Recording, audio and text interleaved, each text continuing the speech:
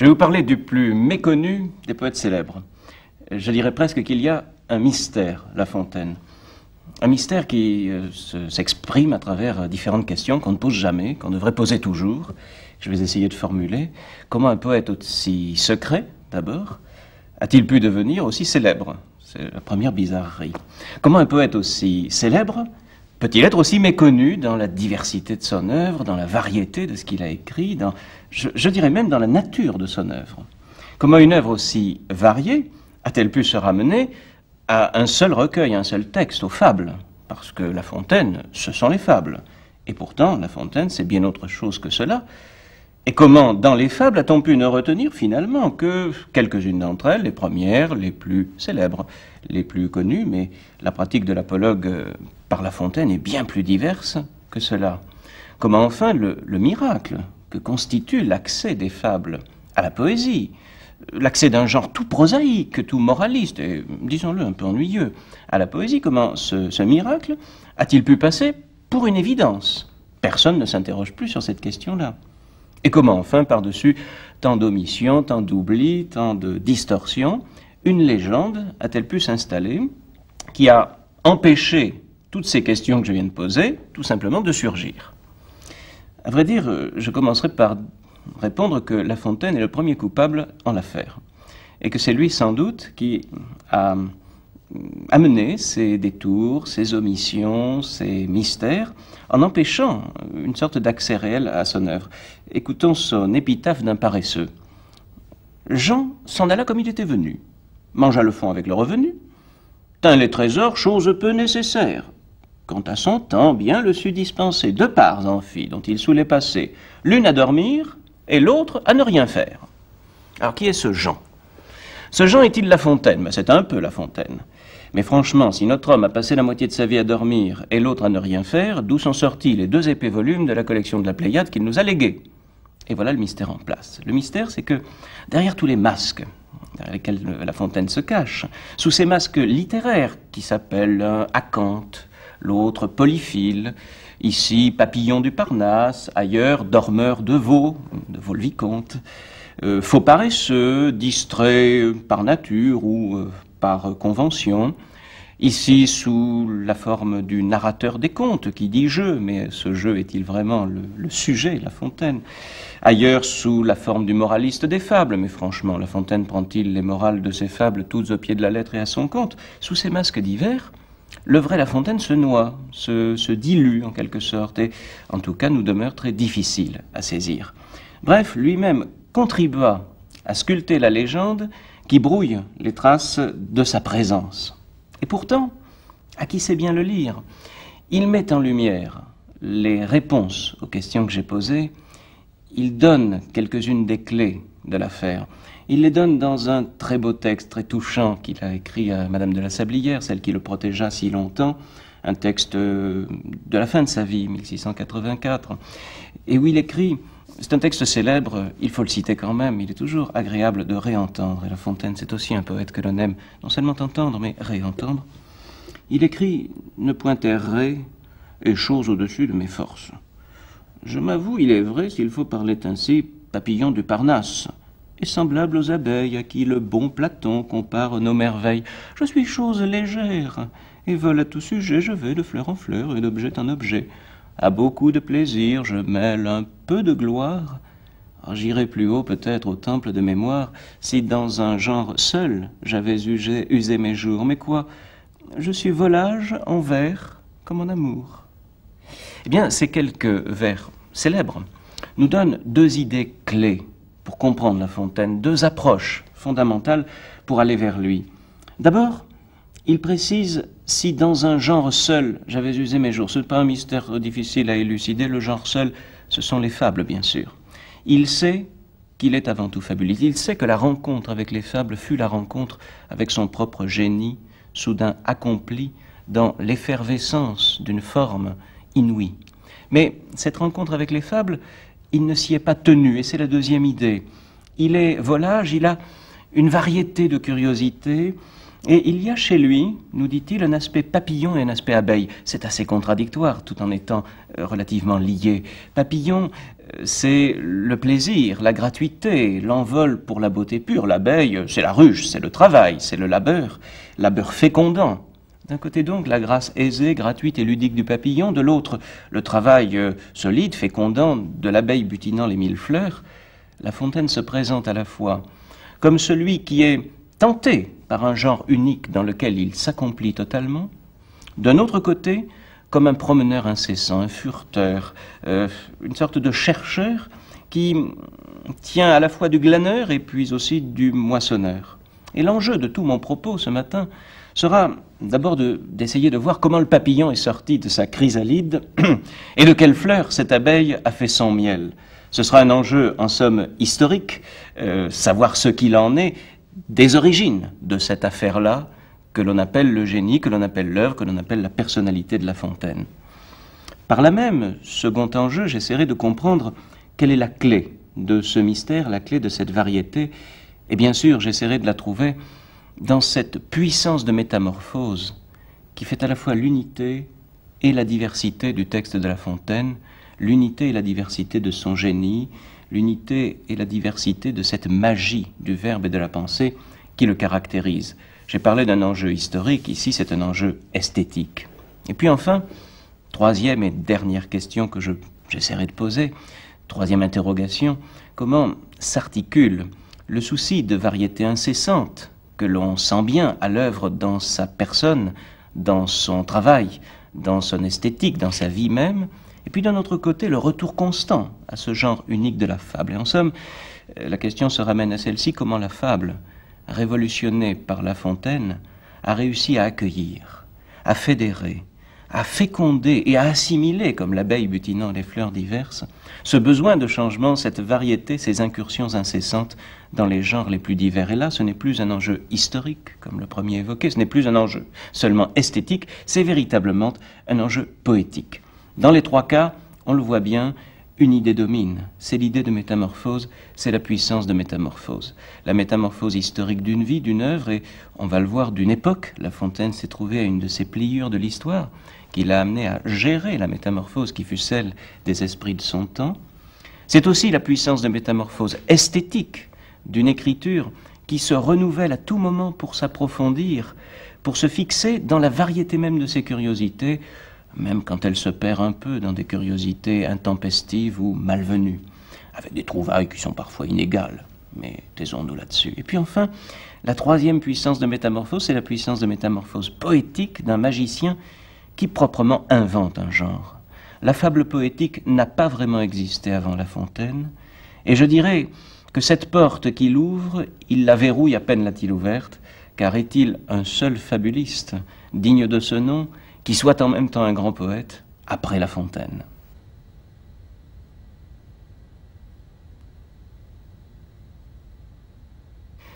En véritable poète classique, on peut dire que La Fontaine a mis en réalité le meilleur de son moi, sa part la plus vraie, dans sa manière d'écrire, et pas du tout dans les confidences plus ou moins parées, plus ou moins ornées, que son écriture peut l'amener ici ou là à exhiber. En somme, la diffraction même de son œuvre suggère celle de sa personnalité, nous aide à comprendre quel il était, et cette personnalité, nous la voyons à travers ses variétés, encline à la variation, encline à la métamorphose, à ce qu'il appelait l'inquiétude, au sens étymologique, de ce qui n'est pas stable. Mais en même temps, à travers ces variations, enfilant ces perles si dissemblables et baroques, il y a le fil continu et souple d'une conscience de soi, beaucoup plus aigu qu'il ne voudrait nous le dire, d'une intuition vigilante des réactions d'autrui, des réactions de son public auxquelles il s'adresse, auxquelles il attache une très grande importance. Tous ces textes théoriques nous disent sans cesse son souci de s'adapter au goût des gens de son temps. Tout cela masquant une ironie sous une bonhomie apparente et un rire sous cap sous une feinte naïveté ce n'est peut-être pas infiniment simple, mais c'est un peu tout cela, le miroitement de la personnalité de La Fontaine, le portrait en noir et blanc et en gris dégradé d'un rieur sous cap et d'un rêveur mélancolique. Il était né en 1621 dans une petite ville euh, de pas très loin de Paris et dans la sphère d'influence de Paris, si l'on peut dire, qui est Château-Thierry, fils d'un bon bourgeois qui avait acquis une forte maison que l'on peut voir encore et qui est un musée Jean de La Fontaine tout à fait charmant et qui n'a rien perdu de son charme de demeure bourgeoise provinciale d'antan. Il est né dans une maison, il est né aussi dans un jardin, c'est peut-être plus important pour lui et plus important pour la promenade que nous allons avoir à faire avec lui dans les méandres de son existence.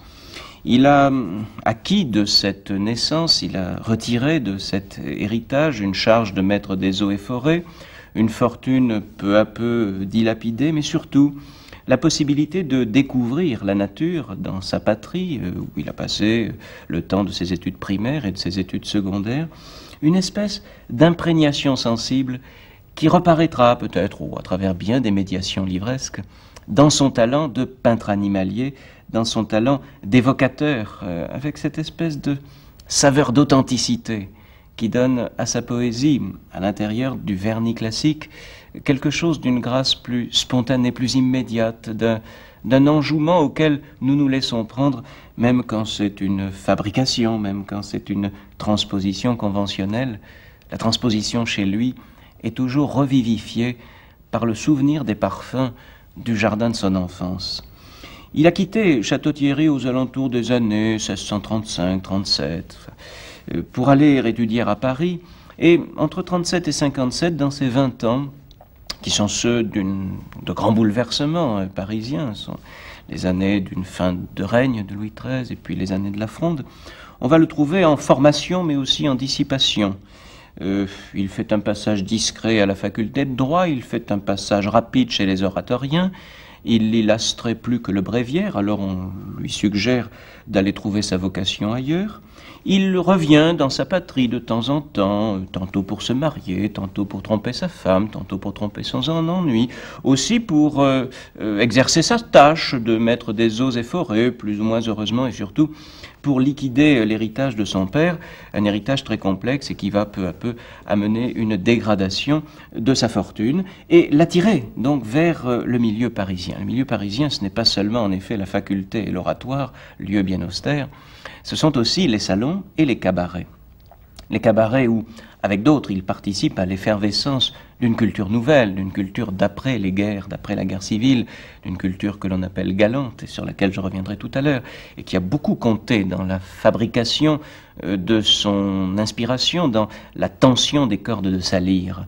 Et puis euh, les, les salons, les salons dans lesquels il apprend à respirer l'air du temps, un air de mondanité, qui euh, lui permet de produire euh, une première comédie qui s'appelle euh, Le Nuc, un peu avant 57, une comédie imitée de Terence, tout ce qu'il y a de plus sage. C'est une traduction du latin et c'est tout à fait convenable à ce que Talmand et Réau appelle alors la vie d'un garçon de belles lettres et qui fait des vers. C'est ainsi que La Fontaine est présentée au milieu du XVIIe siècle.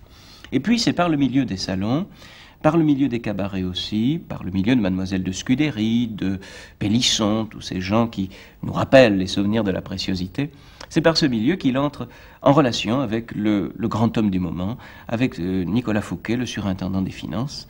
Un surintendant des finances qui avait le goût des arts, le goût des belles choses et des plaisirs, le goût des dames, le goût des châteaux, le goût des belles conversations et le goût de s'entourer de poètes et d'artistes.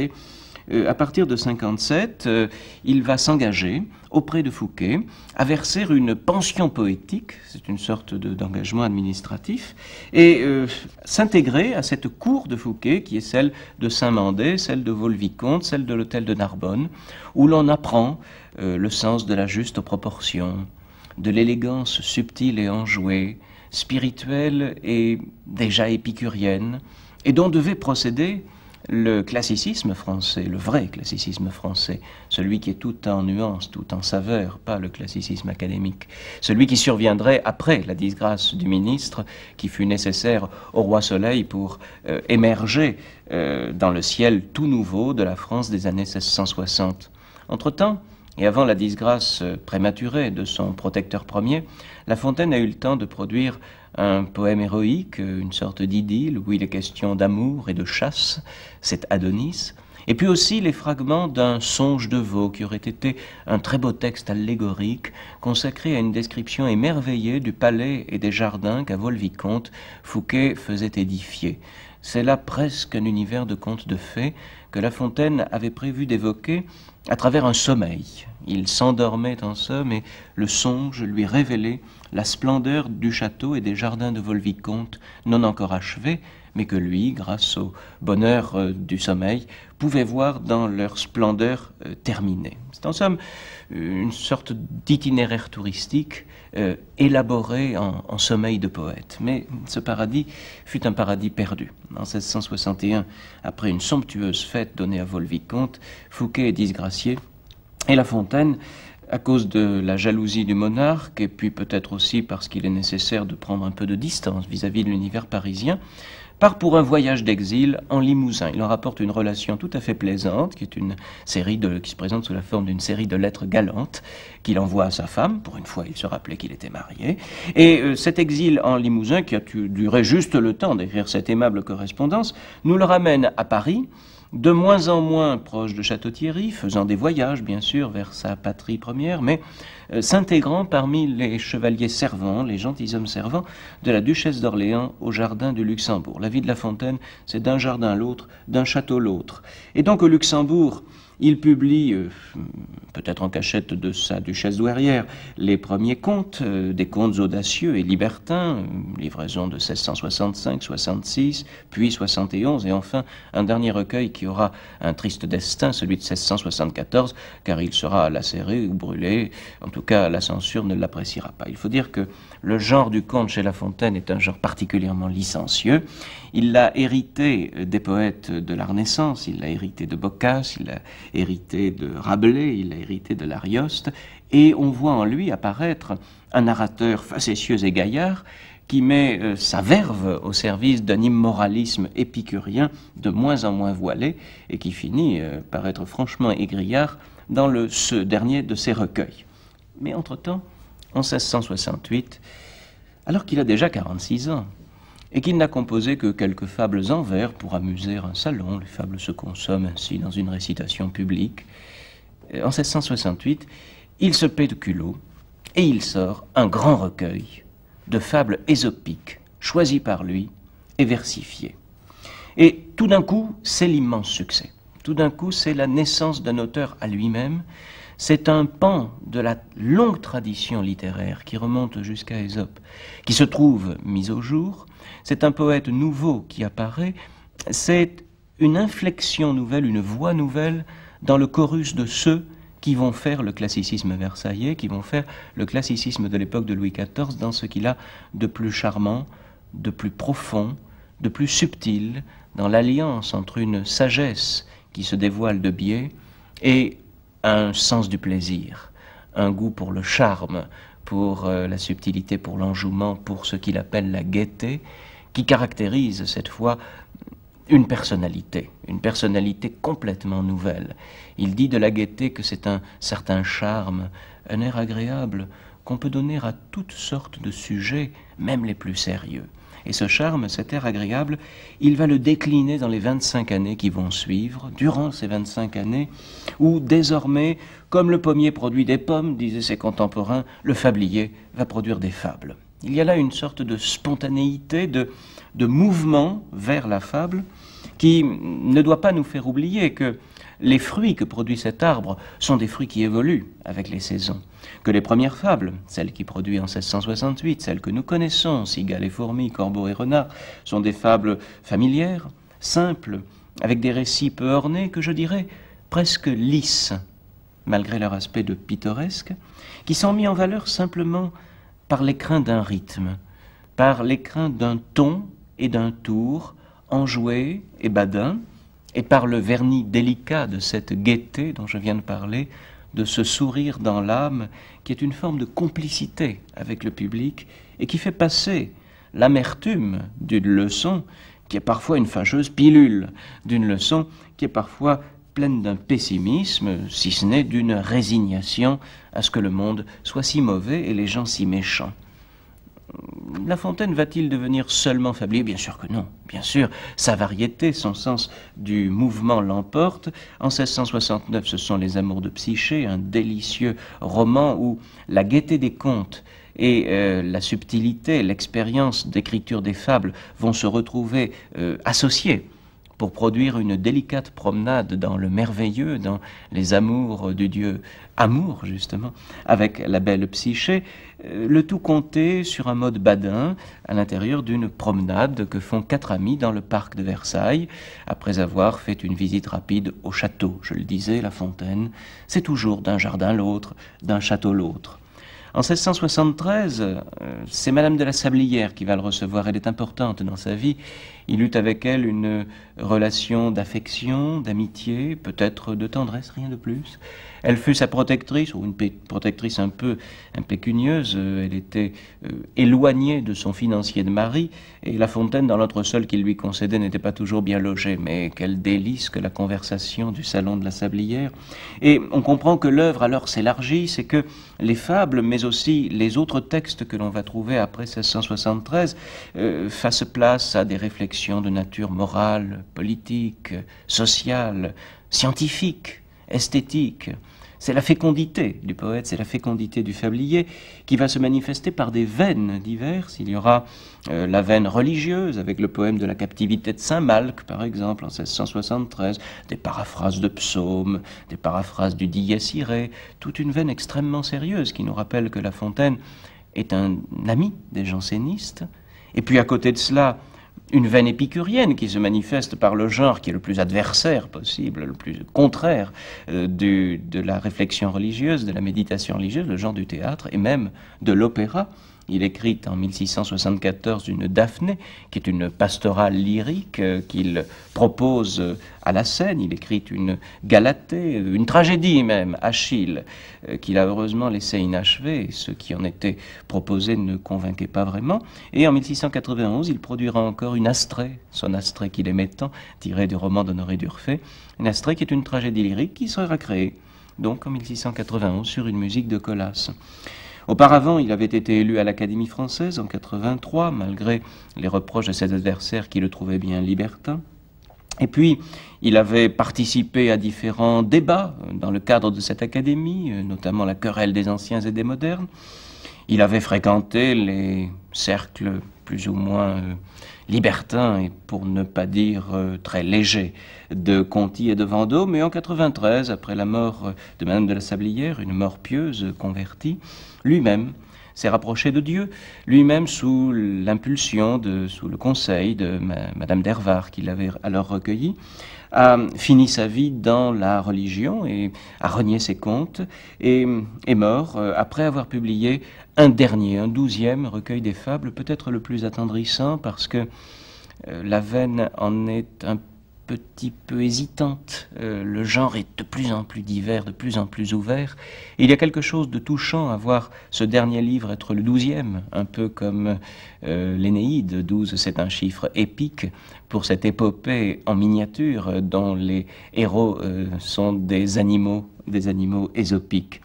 Tout cet ensemble permet de comprendre qu'il y a eu, organisant la vie et l'œuvre de La Fontaine, quelques lignes directrices. D'abord une stratégie de protection qui s'est amplifiée au fur et à mesure qu'il perdait ses attaches champenoises, que sa fortune euh, déclinait et qu'il oubliait euh, le peu de famille qu'il avait réussi à constituer.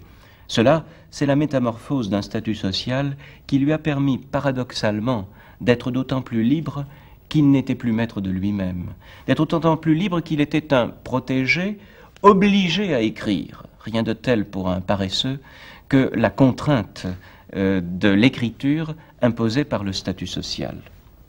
Ensuite, autre trait, on remarque la diversité des genres dans lesquels La Fontaine s'est exercée. Je ne dirais pas qu'il a couvert tous les territoires possibles de la littérature, mais on n'en est pas loin. Et mis à part l'épopée, mais les fables ne sont-elles pas une épopée, il a touché à tout.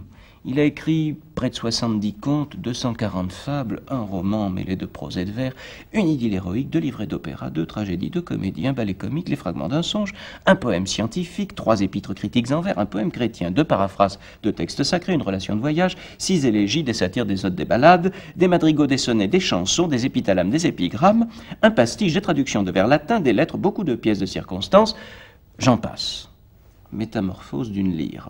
Et puis enfin, dernier trait, et l'on en aura fini ainsi avec la vie de La Fontaine, dernier trait, une alternance. Une alternance en forme de grand écart entre une veine grivoise et une veine délicate. Entre un tour naïf et des soucis savants, entre la religion et l'impiété, entre l'éphémère et l'aspiration aux œuvres qui durent, au grand classicisme, bref, entre le salon et le cabinet de travail, entre le château où l'on converse et le jardin où l'on rêve. Et cela, on peut dire que ce sont les métamorphoses d'une âme.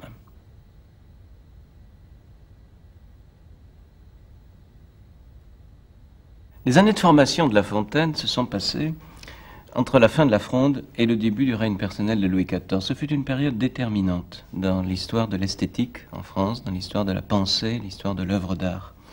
C'est une époque que l'on a parfois appelée préciosité, je préfère la nommer galante parce qu'il y a autour de l'adjectif précieux quelques éléments de mépris ou de sourire, une petite connotation péjorative, disons. Cette galanterie, elle se situe à égale distance entre la roideur un peu guindée qui avait été celle de Malherbe, le grand poète français de la première moitié du XVIIe siècle, et d'un autre côté la surabondance superfétatoire et très ornée de Marino, Marino, poète italien, mais qui était venu en France et euh, dont on s'était beaucoup inspiré, dont Tristan l'Hermite ou Saint-Amand avaient subi l'influence. Les écrivains galants, eux, fécondant ces deux influences, vont chercher une sorte d'équilibre entre les deux, un équilibre fait d'aisance, de grâce badine, une gaieté, on y revient toujours avec La Fontaine, une gaieté tempérée qui provoque un sourire délicat en tolérant presque même en cultivant des négligences qui ont du charme, des négligences voulues, maîtrisées,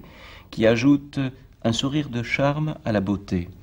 Cet idéal d'un naticisme à la française, cet idéal hérité de l'ancienne Grèce passé par l'Italie, euh, renouvelle le modèle de perfection aisée et mesurée de l'ancienne Athènes.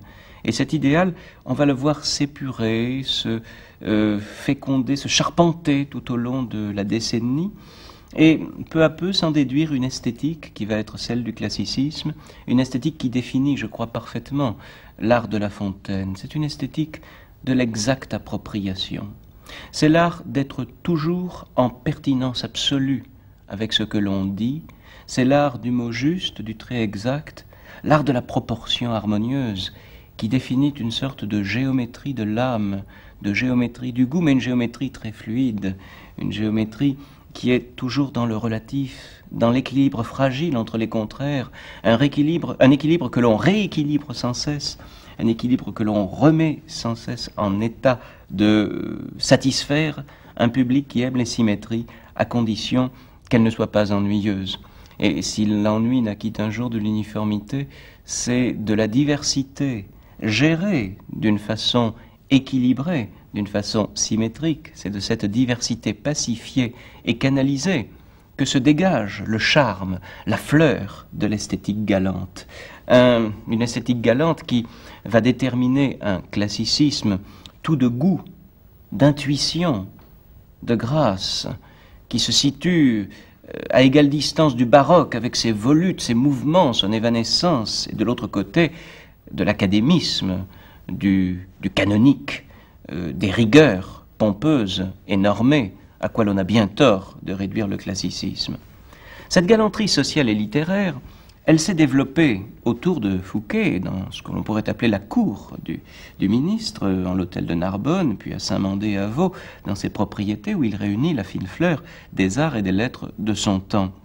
Ses hôtes et son entourage euh, aident à y fabriquer, à y euh, parfaire une éthique et une esthétique de la conversation élégante, euh, qui vient de loin, qui nous vient d'Italie, c'est un héritage d'outre-Alpes, c'est un héritage qui était déjà apparu là-bas à travers des traités comme celui de Castiglione, le courtisan, et qui est tout entier organisé autour de ce concept si difficile à traduire pour nous, la sprezzatura, c'est-à-dire la désinvolture contrôlée, aisée, ornée, une manière d'être non guindé, d'être à l'aise, mais sans jamais empiéter sur le plaisir qu'à autrui de converser avec vous. C'est l'esthétique de la conversation la plus naturelle possible. C'est une sorte de synthèse entre la culture et la nature dans cette alchimie du naturel qui va euh, constituer ce que, faute de traduire le terme, le classicisme français appellera le je ne sais quoi. Je ne sais quoi, cela dit bien qu'il n'y a pas de terme approprié pour dire ce point aveugle de l'œil classique, cette euh, grâce qui permet l'épanouissement du plaisir social en même temps que du mérite personnel dans une civilisation de l'accord total, de l'harmonie parfaite entre les membres euh, de la société qui la forme. Alors évidemment, il y a beaucoup de rêves dans cette affaire-là. La réalité historique n'est sans doute pas telle, mais les romans de Mademoiselle de Scudéry, mais les œuvres de Molière ou de La Fontaine euh, essaie de, présenter cet idéal comme réalisé, de montrer les dangers qu'il fait courir, d'éprouver sa solidité, en tout cas de restaurer, de parfaire ce modèle venu d'Italie, en conciliant, sous le signe du bon goût, les exigences philosophiques d'un culte de la beauté tout platonicien, et les aspirations plus épicuriennes, les aspirations hédonistes au plaisir de la plus exquise sociabilité. Cette euh, alchimie va s'effectuer dans les salons des années 1640 à 1660 et va s'effectuer sous le signe d'une fusion entre l'érudition des doctes qui se font galants, qui se font discrets, sinon ils sont menacés d'être euh, tenus pour pédants, et de l'autre côté les mondains, les mondains qui euh, essaient de se garder de la superficialité, qui essaient d'approfondir leur conscience de l'autre, leur conscience des choses et de la littérature. Il y a du Montaigne dans cette affaire-là. Montaigne avait déjà élaboré un idéal d'honnêteté, d'honnête homme. L'honnête homme est un homme mêlé, varié, mais d'une façon peut-être plus solide, plus rude, plus euh, euh, je dirais, plus française. Euh, Molière, de, son côté, essaierait d'exposer et d'éprouver les éléments de cet euh, idéal et de railler les ridicules affectés ou au contraire les raideurs pataudes de ceux qui ne parviennent pas à s'y conformer. La Fontaine, lui, va réussir à en recueillir la fine fleur, l'esprit délié, et élaborer à partir de là une littérature de la grâce sans après, une littérature du badinage subtil, euh, qui laisse à peine deviner ici ou là une inquiétude, une profondeur, une profondeur qui peut être abyssale, mais qui toujours se garde sous le miroitement des surfaces de paraître trop indiscrète. Et Vaux, son palais, ses jardins vont constituer le premier écrin de ces purs bijoux de civilité, de culture, euh, l'esprit de veau plane tout entier, peut-on dire, sur l'œuvre de La Fontaine. Les animaux de ses fables, euh, les aventures de Psyché, euh, la grâce assez savoureuse et parfois même grivoise de ses contes sortent de ce milieu, sortent de cette aisance, de cet air de liberté qui régnait dans l'univers autour de Fouquet. Tout son art participe de ce génie de la mesure, de cette esthétique de l'enchantement, de cet engouement pour les métamorphoses, de cette invite à la déambulation, qui sortent à vol-vicomte du merveilleux dialogue entre la maison et le jardin, de ce dialogue entre les perspectives, les lignes de fuite du parc et les harmonies calculées de la surface des pièces, de l'organisation euh, du palais, de ce jeu entre la magie des eaux en mouvement et euh, les glaces, les miroirs qui ornent les pièces, bref, de ce jeu entre la nature qui se fait architecture et l'architecture qui naturellement s'offre à la conversation, au plaisir, à la littérature, à l'écriture et à l'art. Le jeu des salons et des bosquets, le jeu de l'enfilade et du labyrinthe invitant à la promenade, c'est déjà le fil directeur de l'écriture de La Fontaine qui nous est proposé sous la forme d'un conte enchanté. Cette façon magnifique qu'il a d'associer la narration, car il est avant tout un grand conteur, et le lyrisme, car c'est un être qui sait ménager des instants éphémère de beauté absolue, cette fusion entre les deux, on peut dire qu'elle procède de la conjonction qui s'est élaborée à Volvicomte et qui se continuera à Versailles entre les contraires, de cette invitation à la promenade qu'il y a à la fois dans la maison et dans le parc de Versailles. Prenons l'exemple de Psyché. Psyché, qu'est-ce d'autre qu'une triple promenade Ce sont d'abord les heures et les malheurs de l'héroïne errant euh, dans la vie, euh, à travers les jardins et le palais que lui construit l'amour, puis à travers la nature, parfois hostile, mais qui, après la disparition du palais de l'amour, va lui réserver quelques thébaïdes, quelques lieux de méditation au bord d'une onde pure, où elle pourra se reprendre et euh, apprendre euh, cet itinéraire d'initiation qui l'amène vers la contemplation de son amant l'amour. Euh, psyché, c'est l'itinéraire, la déambulation à travers euh, le jardin et le palais de l'amour de l'âme s'initiant à l'amour véritable. C'est une première promenade. Mais en même temps, Psyché, c'est aussi la promenade de quatre amis qui, dans les jardins de Versailles, déambulant d'allée en bosquet, se racontent les aventures de Psyché. C'est donc euh, là aussi un vrai jardin où se déroule un récit en contrepoint euh, du jardin fictif contenu dans le récit de Psyché. Et puis enfin, Psyché, c'est pour nous une promenade, un va-et-vient entre le rêve et la réflexion, un va-et-vient entre le songe et la méditation. C'est une promenade à distance de badinage et de fascination, à mi-chemin entre badinage et fascination. Le ton enjoué, badin, complice, enveloppant, que La Fontaine a réussi à donner à cette promenade à laquelle il nous convie, est comme une sorte de caresse que les mots font sur l'esprit, euh, et en même temps la distance maintenue d'un souffle léger, celui que euh, génère l'enjouement que La Fontaine met dans toutes les phrases de ce texte. Ainsi, les inflexions diverses de la naïveté consentie et de la convention assumée poussent jusqu'aux frontières de ce qui pourrait être de la fadeur ou de la sophistication, sans jamais tomber dans le piège, et en nous maintenant toujours dans un souple naturel, un naturel qui, c'est une merveille, est le résultat d'un raffinement, d'une presque sophistication, et en même temps d'une naïveté consentie. Ce miracle, il a été possible parce que La Fontaine avait auparavant écrit les fables, parce qu'il avait auparavant écrit les contes, parce qu'il avait géré dans son écriture, dans son âme, dans son inspiration, la culture et l'éthos galant, la mondanité de Fouquet, mais qui se trouve ici approfondie en une méditation sur le destin de l'âme.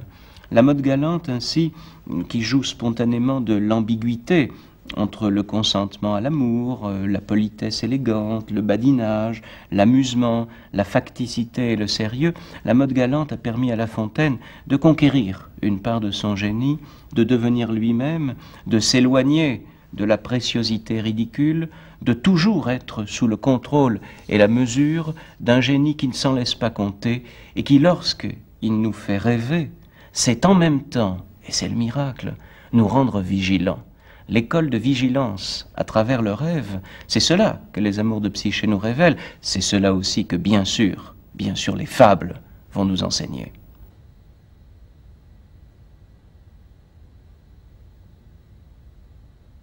Qu'est-ce qu'une fable? Une fable, c'est une parabole morale, c'est-à-dire d'abord le parallèle entre deux règnes, la plupart du temps les hommes et les animaux, parfois les hommes et les végétaux. Ensuite, c'est le jeu entre deux formes, un récit, une moralité. La Fontaine dit le corps et l'âme. Et puis enfin, une fable, c'est euh, l'élément d'une tradition, un élément dans une tradition ouverte, diverse, tradition qui touche à tous les thèmes de la vie, euh, qui est promise à une réactualisation sans cesse, car la fable euh, s'inscrit dans l'actualité, se réadapte aux circonstances, s'enrichit d'éléments nouveaux par des contaminations, et se fait donc miroir de l'actualité. Qu'a fait La Fontaine avec la fable? Il l'a mise en vers mais bien plus que cela, il l'a transformé en poème, et on sait que le vers n'est pas toujours la garantie de l'accès au statut poétique. Si La Fontaine a réussi à faire de ses fables des poèmes, c'est d'abord parce que du parallélisme allégorique entre les gens et les bêtes que voulait la convention du genre, il a réussi à tirer peu à peu une conception plus richement fondée, plus nuancée de, des deux règnes, du monde animal et du monde humain. La fable l'amène à observer pour eux-mêmes les animaux. Il y a un zoologue très fin et très spirituel chez La Fontaine, même si beaucoup d'espèces sont par lui traitées d'une façon assez conventionnelle, il y a quelques traits qui définissent un corps, qui définissent une silhouette, tel oiseau sur ses longs pieds, allant je ne sais où, long bec, long cou. On voit se définir ainsi euh, un regard nouveau sur la nature. Et puis de notre côté, même s'il regarde les animaux euh, à travers le filtre des mœurs humaines, il y a toujours chez lui une manière de nous montrer en l'animal ce qu'il y a d'humain, qui nous ramène à l'homme, qui nous ramène à l'analyse euh, des principes de la conduite humaine à la lumière des comportements animaliers. De la sorte, les fables sont une sorte de philosophie morale, se dégageant de la sagesse ésopique, de la sagesse première, de la sagesse moraliste un peu raide, il faut bien l'avouer un peu artificielle ou convenue des premières moralités, que l'on rencontrait dans les apologues d'Ésope, que l'on rencontre encore dans les apologues du premier recueil, que l'on rencontre aussi cette moralité un peu, un peu simplette dans les écrits de la période galante, moins sensible au leçon de l'observation, moins sensible, je dirais, à la variété de l'âme humaine. Et cette variété que La Fontaine trouve en lui, voici que la fable lui permet de l'interpréter, de l'expliquer, de la mettre en scène chez les autres, et de montrer comment l'homme est euh, l'agent, l'acteur d'une comédie à cent actes divers, mais comment chaque cœur humain lui-même se joue sa comédie à cent actes divers. Cette morale qui naît peu à peu d'une prise de conscience nouvelle, poétique, de la réalité humaine, de la nature animalière, cette morale nouvelle, cette philosophie seconde, dirais-je, est moins prescriptive que descriptive. Elle s'enchante plus qu'elle ne s'indigne, ou alors elle se désespère à déceler, à épingler les mille nuances de la réalité humaine, j'allais presque dire de la turpitude humaine, de la turpitude naturelle de l'homme, et elle le fait de moins en moins pour guérir les hommes de leurs défauts. La fable est didactique, mais sans beaucoup d'illusions sur ce qu'elle pourra faire. Elle le fait moins pour guérir les esprits et les cœurs de leurs erreurs et de leurs fautes que pour établir, je dirais, une cartographie des âmes, une géographie des âmes. Voilà encore quelque chose que La Fontaine a hérité de l'époque galante où l'on dessinait la géographie du cœur, la carte de tendre. Mais la carte des âmes que dessine La Fontaine n'est pas une carte de badinage, ce sont des leçons de topologie expérimentale qui constituent ce que l'on pourrait appeler les maximes de La Fontaine, comme il y a des maximes de La Rochefoucauld, et d'ailleurs les fables rendent hommage à l'auteur des maximes. Ainsi la fable de La Fontaine, fleur éclose d'une lente maturation effectuée par la Renaissance humaniste, par l'imitation fécondante des anciens, la fable va peu à peu se mêler de tout, de politique, de morale, de science, d'esthétique, de religion, et bien sûr de toutes les passions humaines. Tous ces sujets, elle va les traiter dans des registres tout à fait variés, tour à tour et simultanément narratifs, mythologiques, comiques, tragiques parfois, lyriques toujours, rhétoriques, épiques même. Fondée sur la solide articulation entre les deux pôles que sont le récit et la moralité, si vous voulez, le cryptage et le décryptage, euh, fondée sur l'articulation entre l'allégorisme symbolique du conte et euh, la méditation qu'introduit la moralité, divergente mais complice, la fable s'offre avec souplesse, avec aisance, à toutes les nuances de la lyre variée de La Fontaine. Ainsi, l'inspiration de ce poète que l'on a pu voir si diverses, allant dans des genres si multiples. Cette inspiration fureteuse, cette inspiration qu'on ne réussit pas à tenir et qui est comme une cascade impossible à canaliser, va se trouver hum, canalisée, si l'on peut dire, ou tout au moins euh, fédérée, fédérée dans le ruban diapré de l'écriture des fables, dans ce kaléidoscope de composition mouvante qu'est le recueil des fables, chacune constituant à sa façon tantôt une petite comédie, tantôt une petite tragédie, tantôt un poème lyrique, tantôt une épopée en miniature.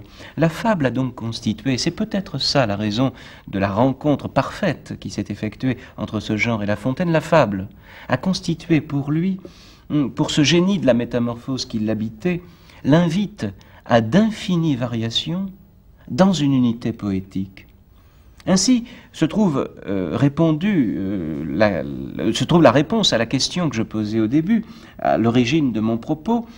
Comment La Fontaine est-il à la fois dans notre esprit l'auteur d'un seul genre, et comment en même temps euh, peut-il avoir éprouvé ce besoin de variété absolue qu'on sent à le lire? Eh bien, c'est que la fable constituait pour lui l'agent, l'opérateur de cette variété, et en même temps le creuser pour fondre cette diversité.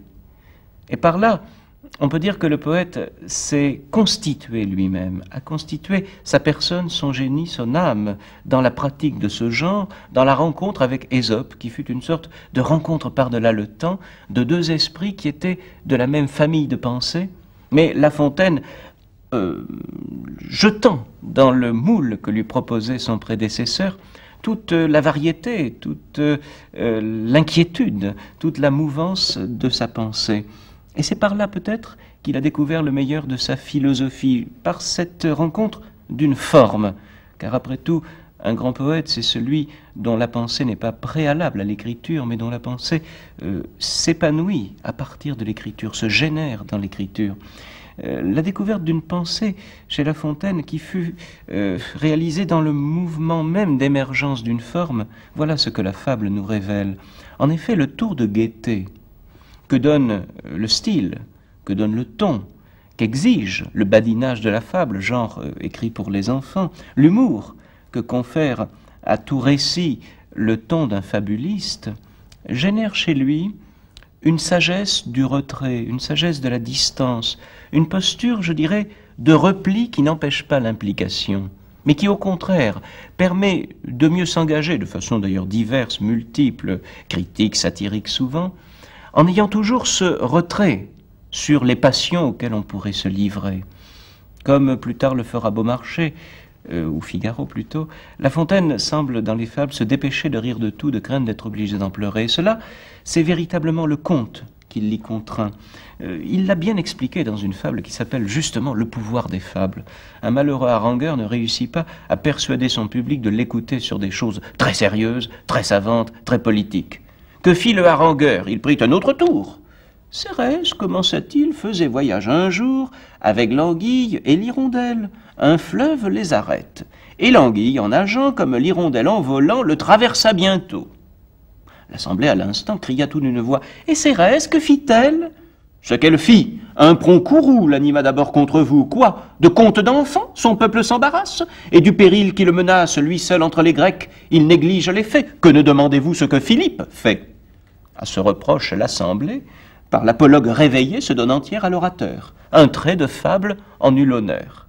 Ça, c'est le pouvoir, ça, c'est l'honneur des fables, ça, c'est la morale d'Ésope. Mais voici que La Fontaine poursuit. Nous sommes tous d'Athènes en ce point, et moi-même, au moment que je fais cette moralité. Si peau d'âne m'était comptée, j'y prendrais un plaisir extrême. Le monde est vieux, dit-on, je le crois. Cependant, il le faut amuser encore comme un enfant. Et voici qu'à la leçon de sagesse sérieuse et politique se substitue un aveu, un aveu complice, qui est un aveu de nécessité de l'amusement. Il le faut amuser encore comme un enfant. Qu'est-ce que la fable? C'est le miracle de l'enfance de l'âme retrouvée. C'est le miracle de l'enfance du langage retrouvé, mais dans la vigilance d'un contrôle totalement désillusionné, d'un contrôle de la réflexion, d'un contrôle de la sagesse. La fable, c'est en somme pour l'homme la sagesse de savoir être enfant pour un émerveillement consenti et en même temps attentif. La fable, c'est un exercice de songe vigilant.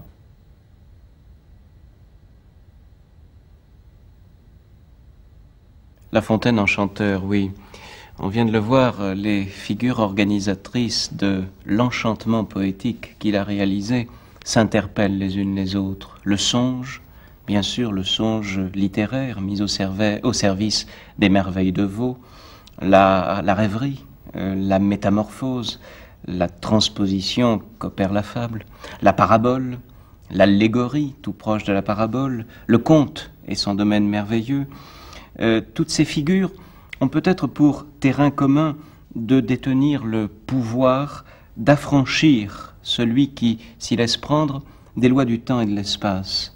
Et ainsi le poète mage le récit enchanteur et l'auditeur fasciné sont-ils enlevés pour une promenade dont je dirais que le modèle le plus évident fut celui du jardin à la française Le jardin à la française et la rencontre avec La Fontaine, c'est toujours un peu une invite à la promenade dans un jardin comme celui de Versailles ou de Vaux, un jardin avec ses grandes et droites allées, ses droites lignes de clarté, mais qui ménage dans les croisements de leurs perspectives des bosquets, des bosquets étranges, où s'opère tout un jeu qui est un jeu de programme allégorique par les statues mythologiques, voire cosmiques, tout un jeu en même temps d'appel à la conversation, à la rêverie, à la méditation, la poésie de La Fontaine est une poésie du jardin, sa philosophie est une philosophie du jardin. C'était bien sûr le modèle de la philosophie épicurienne que le modèle du jardin.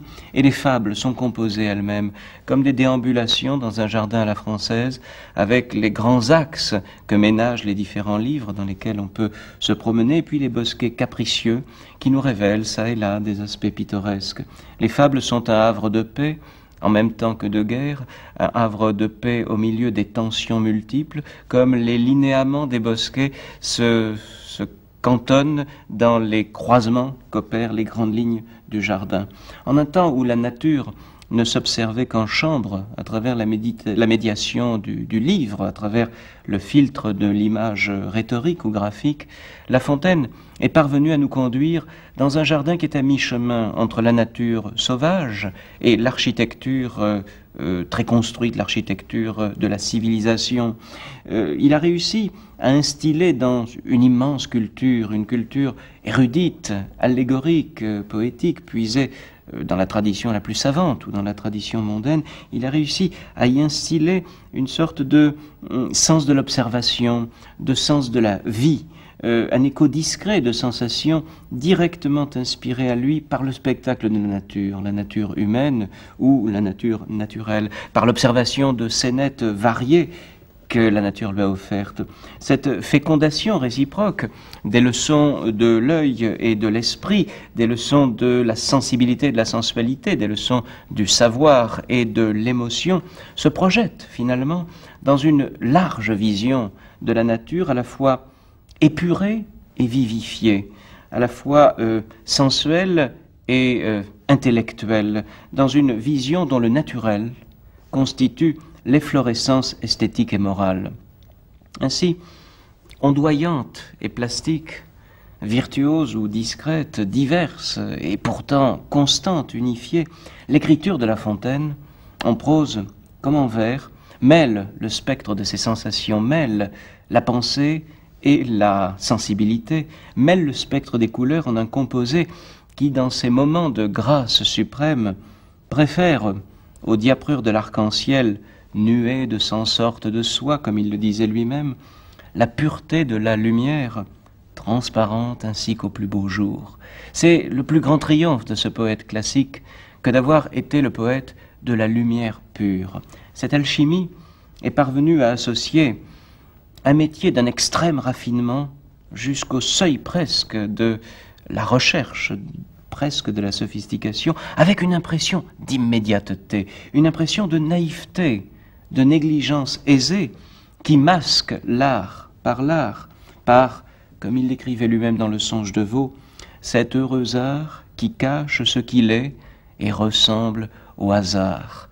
La plus grande victoire d'un poète, n'est-ce pas, de s'être fait, l'égal de Dieu, celui qui jette les dés du hasard sur la page du livre, et celui qui nous entraîne dans ce décompte imprévu, et qui en réalité est totalement prévu par lui, dans ce décompte imprévu des chiffres, dans ce chiffre mystérieux de l'allégorie des images, de la musique, des sons, des idées, bref, dans ce tournoiement de l'enchantement qui fait de La Fontaine l'un des plus grands magiciens de notre culture.